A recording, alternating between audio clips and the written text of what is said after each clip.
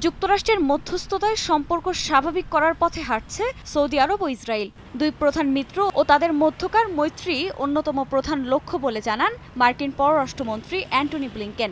জাতীয় নিরাপত্তার স্বার্থে যুক্তরাষ্ট্র, ইসরায়েল ও সৌদি আরবের মধ্যকার সম্পর্ক উন্নয়নের চেষ্টা চালাচ্ছে বলে জানান তিনি।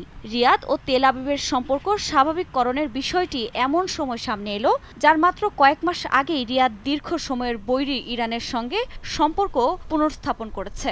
সম্প্রতি মার্কিন সংবাদ মাধ্যম ফক্স নিউজকে দেওয়া সাক্ষাৎকারে সৌদি যুবরাজ মোহাম্মদ বিন সালমান বলেন, প্রতিনিয়তই সৌদি আরব ও ইসরায়েল পরস্পরের ঘনিষ্ঠ হচ্ছে।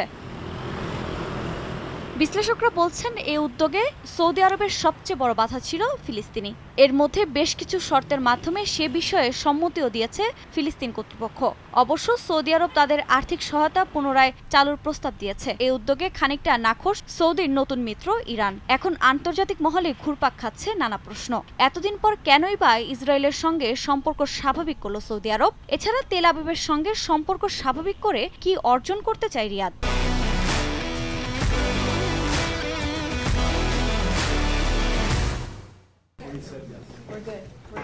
বিশ্লেষকদের মতে, যুক্তরাষ্ট্রের সঙ্গে দীর্ঘমেয়াদী প্রতিরক্ষা চুক্তি ইসরায়েলের সঙ্গে সৌদির সম্পর্ক স্বাভাবিক করার বিষয়ে নিয়ামকের কাজ করছে। অবাধে অস্ত্র আমদানির সুযোগ চায় তারা। পাশাপাশি বেসামরিক উদ্দেশ্যে পারমাণবিক শক্তির ব্যবহারে মার্কিন প্রযুক্তি ও কারিগর সহায়তাও চায় রিয়াদ। তাদের দাবি, পারমাণবিক কর্মসূচির বিষয়টি নিয়ে সৌদি আরব উদ্বিগ্ন। কেননা, গুঞ্জন রয়েছে, ইরানের হাতে পারমাণবিক অস্ত্র আছে। ইরানের পারমাণবিক অস্ত্র থাকলে সৌদি আরবের হাতেও থাকা উচিত বলে এর আগেও মন্তব্য করেছেন সৌদি যুবরাজ। যদিও রিয়াদ বলছে, ভিন্ন কথা তাদের দাবি।